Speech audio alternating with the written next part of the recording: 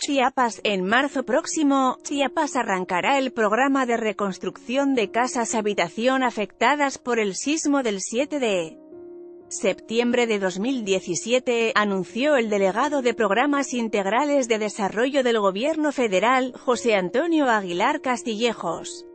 Dijo que, en una primera etapa estarán llevándose a cabo 12.000 acciones con un costo de cerca de 2.000 millones de pesos. Costa, Frailesca y Centro serán las regiones favorecidas con esos trabajos.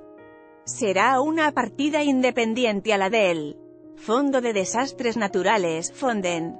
Iniciaremos con 12.000 acciones. Son insuficientes pero es nuestro presupuesto para este año, afirmó. Durante una entrevista, el censo llevado a cabo por el último gobierno federal cuantificó en Chiapas 14.105 viviendas con afectaciones totales y 32.044 con daño parcial. Hasta el momento fueron invertidos 1.662 millones de pesos. MDP, para la restauración, monto que ajustó para rehabilitar solo 75% del total. El resto de las casas no fueron atendidas por problemas presupuestales de acuerdo con la Secretaría de Protección Civil del Estado.